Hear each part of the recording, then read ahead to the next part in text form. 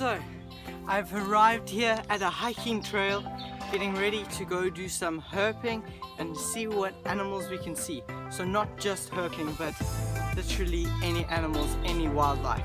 It's gonna be awesome. Now let me lock up my bike.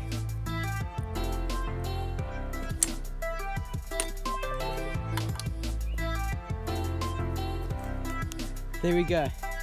Now let's go to get onto the trail. See you there. All these shots, setting them up's a pain.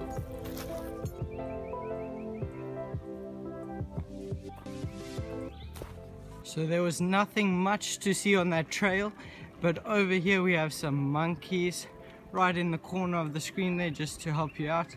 I'm cycling and filming with one hand, so these are vervet monkeys. They are naughty little things, but cute little guys anyway. Bye monkeys. Be good. I know they're not gonna be good, but anyway. Please don't fall down this time.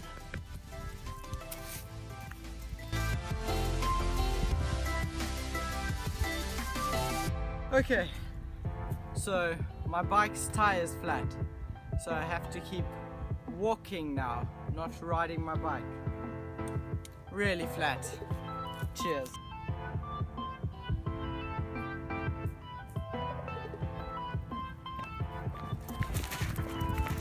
I don't know who would bury their phone in the sand for a shot like that.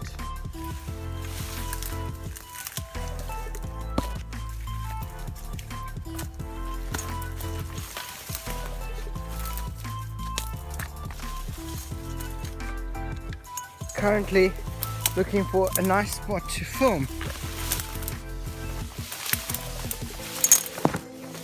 And I don't want to necessarily find snakes in here. So you found me out here again in my element. So I'm in what looks like to be a hippo's feeding ground. There's a lot of hippo dung and the birds are probably overpowering my voice right now, but that's okay because it's a beautiful sound. Let me get some hippo poo to show you quickly.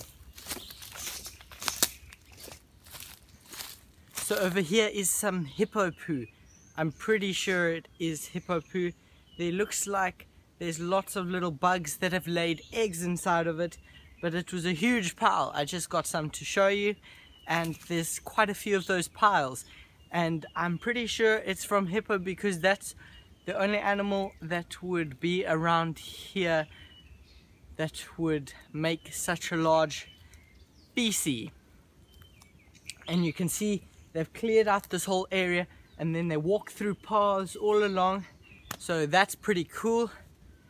And right over here we have this thing. It's actually called monkey fruit. I'll correct myself if I'm wrong but what these are used for around here in this area they get hollowed out from the top and then all the fruit part gets um, carved out as you can hear it's pretty hard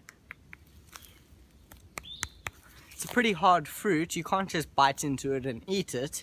And I don't think they actually eat it, but they sure, wow, there's lots of insects on my legs.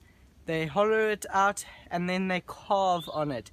And then you can put a candle inside and hang it from a tree. So that's what they use these for. And I'm not sure if it's edible, but I would actually love to know. So yeah, I'm having a load of fun looking out here for animals and just enjoying this beautiful, beautiful scenery. All the mosses on the trees and all these creepy vines. Not creepy as in scary, but like creeper vines, but I'm having a blast. You'll catch me later tomorrow looking for some more animals. Let's see what we can find. Cheers guys!